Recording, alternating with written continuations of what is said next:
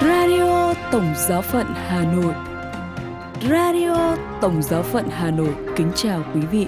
Mời quý vị nghe chương trình phát thanh hôm nay, thứ ba, ngày 30 tháng 1 với những chuyên mục tin thời sự và kế đến là chuyên mục câu chuyện gia đình.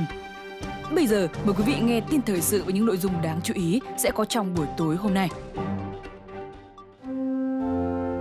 Hoạt động tại Tổng giáo phận Hà Nội. Đức Thánh Cha phản đối vụ tấn công nhà thờ Công giáo ở Istanbul. Đức Thánh Cha Francisco thành lập giáo phận mới ở Trung Quốc và cuộc gặp gỡ của Đức Thánh Cha Francisco và Tổng thống Argentina. Sau đây là phần tin chi tiết. Hoạt động tại Tổng giáo phận Hà Nội. Tại Tổng giáo phận Hà Nội đã diễn ra một số hoạt động đáng chú ý liên quan đến hoạt động tại các giáo sứ Đã thành một nét đẹp, trước thềm năm mới hàng năm, Caritas giáo sứ Cẩm Sơn đều tổ chức vận động quyên góp những người hảo tâm giúp đỡ anh chị em nghèo, những người có hoàn cảnh khó khăn để họ có một mùa xuân đầm ấm. Chúa Nhật ngày 28 tháng 1, Caritas giáo sứ Cẩm Sơn cùng quý ân nhân đến thăm hỏi, động viên và trao tặng 163 xuất quà cho những người có hoàn cảnh khó khăn, không phân biệt tôn giáo. Liên quan đến hoạt động của thiếu nhi thánh thể. Vào sáng Chủ nhật ngày 29 tháng 1, hướng về ngày mừng lễ quan thầy Thánh Gioan Don Bosco và kỷ niệm 3 năm thành lập sứ đoàn, Ban điều hành sứ đoàn giáo sứ Giang Xá đã tổ chức cuộc thi giọng hát thánh ca cho các em thiếu nhi thánh thể. Trải qua các vòng loại, 14 giọng ca trong sáng, dễ thương đã bước vào vòng thi chung kết. Cuộc thi bắt đầu từ ngày 17 tháng 12 năm 2023 đến ngày 28 tháng 1 năm 2024, thu hút được sự tham gia của hơn 50 em thiếu nhi trong toàn xứ. Mỗi giọng hát của các em là mỗi màu sắc, mỗi cá tính, mỗi tâm tình và cảm xúc riêng.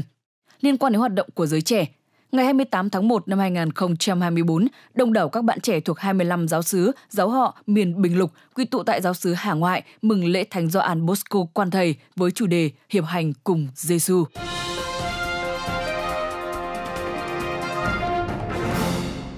Đức Thánh Cha phản đối vụ tấn công nhà thờ công giáo ở Istanbul. Khi Đức Thánh Cha Francisco phê phán cuộc tấn công vào nhà thờ công giáo ở Istanbul, Đức Giám mục Maximiliano Palinuro, đại diện tông tòa của Istanbul và giám quản tông tòa của Constantinople, kêu gọi chính quyền tìm kiếm sự thật đằng sau vụ tấn công. Ngỏ lời với các tín hữu trong giờ kinh truyền tin ngày 28 tháng 1, Đức Thánh Cha Francisco đã lên án vụ bạo lực ngay trong thánh lễ Chúa Nhật – các tay súng có vũ trang đã tấn công một nhà thờ công giáo ở Istanbul, Turkey, khiến một người thiệt mạng. Ngài cũng chia buồn với cộng đoàn giáo sứ Thánh Mary Draperis ở Istanbul. Trao đổi với Vatican Media, Đức Giám mục Massimiliano Palinuro, đại diện tông tòa Istanbul và giám quản tông tòa Constantinople kêu gọi chính quyền tìm kiếm sự thật sau vụ tấn công. Các yếu tố cho thấy cuộc tấn công này dường như bắt nguồn từ hiềm khích tôn giáo, nhưng động cơ cụ thể vẫn chưa được xác minh. Đức giám mục Palinuro kết thúc cuộc trao đổi bằng cách bày tỏ sự đau buồn đối với người bị sát hại và kêu gọi đảm bảo an toàn cho các tín hữu công giáo.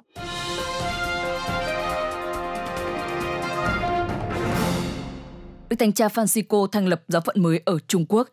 Thứ hai, ngày 29 tháng 1 vừa qua, Tòa Thánh đã ra thông báo Đức Thánh cha Francisco đã tuyên bố thành lập giáo phận Duy Phường, một giáo phận mới ở Trung Quốc. Đây là một quyết định ngầm công nhận biên giới giáo phận do Bắc Kinh vạch ra – Văn phòng báo chí Tòa Thánh cũng cho biết, Đức Thánh cha Francisco đã thành lập giáo phận vào ngày 20 tháng 4 năm 2003 với mong muốn thúc đẩy việc chăm sóc mục vụ cho đàn chiên của Chúa và chăm sóc hiệu quả hơn lợi ích tinh thần của đoàn chiên. Biên giới giáo phận là khu vực tranh chấp giữa Vatican và Trung Quốc trong nhiều thập kỷ kể từ khi Đảng Cộng sản Trung Quốc nên nắm quyền và bắt đầu vẽ lại ranh giới giáo phận. Giáo hội Công giáo có 147 khu vực pháp lý giáo hội ở Trung Quốc với 20 tổng giáo phận, 97 giáo phận, 28 tông tòa và hai cơ quan quản lý giáo hội. Tuy nhiên, chính quyền Đảng Cộng sản Trung Quốc tuyên bố rằng chỉ có 104 giáo phận tồn tại ở Trung Quốc đại lục và đã vẽ lại đường biên giới theo cách kết hợp các giáo phận. Theo Agencia Fides, cơ quan dịch vụ thông tin của Hiệp hội Truyền giáo Giáo hoàng, biên giới của giáo phận của Trung Quốc là một vấn đề then chốt trong các cuộc đàm phán đang diễn ra giữa Tòa Thánh và Bắc Kinh.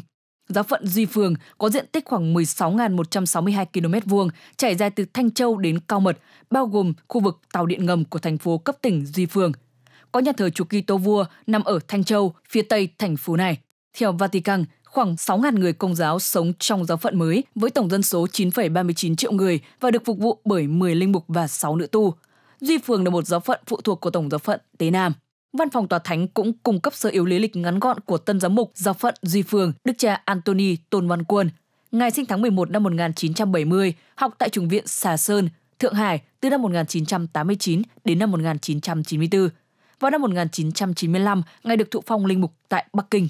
Sau đó, ngài mục vụ tại Sơn Đông từ năm 2005 đến năm 2007. Từ năm 2007 đến năm 2008, ngài theo đuổi việc đào tạo cá nhân tại Ireland. Khi trở về Duy Phương, ngài tiếp tục sứ vụ tại đó.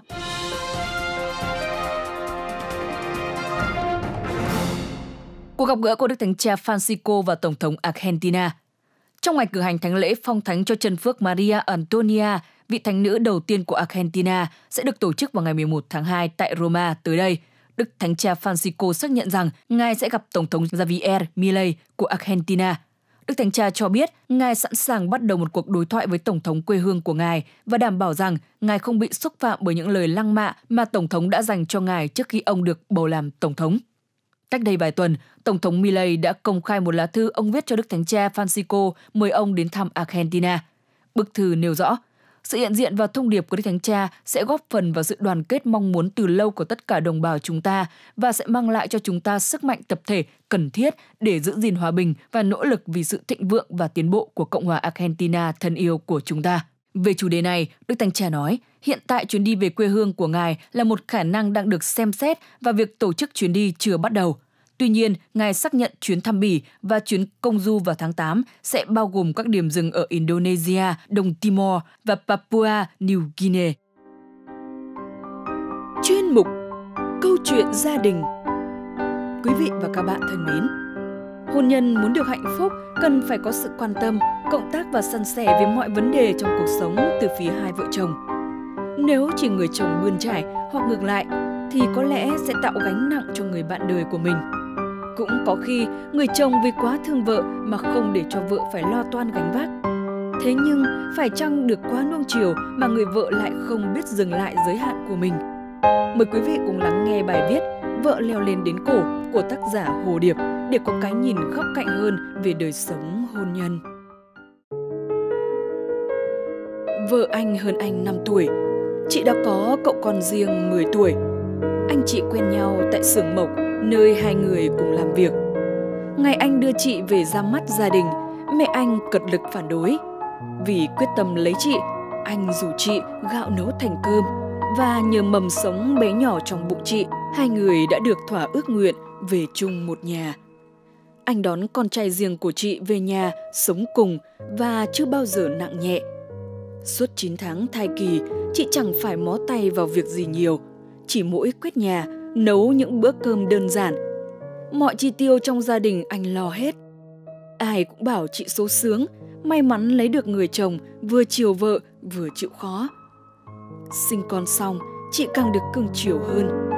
Mấy tháng đầu, chị chỉ việc ngồi ôm con, cơm nước, giặt rũ đã có mẹ chồng. Nhưng hình như được chồng chiều quá nên chị sinh ra tính ỉ lại. Nhà anh làm nông, vào ngày mùa lại càng bận rộn, ai cũng đổ tắt mặt tối từ sáng sớm đến tận chiều tối. Mẹ anh lao động vất vả cả buổi, đói mềm ruột. Về đến nhà thấy căn bếp lạnh tanh, chậu quần áo đầy ự của mẹ con chị vẫn nằm nguyên ở góc nhà tắm. Còn chị nằm ôm con ngủ. Mẹ anh đành nén cơn mệt, dằn cục tức, lao vào bếp để con trai về có cơm canh mà ăn. Anh nhẹ nhàng bảo vợ, con rất ngoan, em để con tự chơi ở giường rồi tranh thủ giặt rũ, cầm nước nhé. Thức ăn thì mẹ đã để sẵn trong tủ lạnh rồi. Trước lời thỉnh cầu của anh, chị tỉnh bơ. Chị thấy xe đẩy của nhà hàng xóm đẹp hơn xe nhà mình, liền đòi chồng mua một cái y như thế. Chị đòi lắp điều hòa, đòi chồng đưa đi xăm môi, xăm mắt. Mẹ anh hay đau yếu, một năm vào viện đôi ba lần. Anh phải gánh gồng mấy miệng ăn, nên không thể đáp ứng hết những đòi hỏi của chị. Bị chồng từ chối, chị vùng vằng giận dỗi. Thu nhập của anh không tăng trong khi vật giá leo thang. Bé con được một tuổi, mẹ anh nói sẽ trông bé cho chị đi làm. Tiền chị kiếm được để dành nuôi con, lo cho con riêng học hành. Chị tỏ vẻ khó chịu. Chồng con sẽ không để cho mẹ con con chết đói. Con trai con nếu không được đi học thì người đời sẽ cười vào mặt chồng con. Nếu mẹ ép con quá, con sẽ đưa các con về nhà mẹ đẻ. Nghe chị nói vậy, mẹ anh sững sờ. bà thấy mình có lỗi vì sự nín nhịn cho êm cửa êm nhà của bà bấy lâu đã vô tình dung túng cho sự ỉ lại và ngang ngược của con dâu. Buồn, anh tìm đến bia rượu. Đi làm đã mệt, còn gặp vợ không biết điều. Anh sợ về nhà. Mẹ anh khuyên, hãy tâm sự với vợ, phân tích cặn kẽ tình thế hiện tại của gia đình, giả định những tình huống xấu nhất có thể xảy ra, nói với vợ những khó khăn con đang gặp phải và những mong muốn của con đối với vợ. Nếu vợ con vẫn không hiểu ra, mẹ sẽ áp dụng những biện pháp mạnh hơn để chấn chỉnh, chứ không thể để như vậy được. Anh vâng dạ, nhìn bé con đang lẫm chẫm tập đi. Anh quyết định ngày mai sẽ nói chuyện với vợ và lên dây cót tinh thần, sẵn sàng cho cuộc cách mạng gia đình. Radio Tổng giáo phận Hà Nội xin chào và hẹn gặp lại.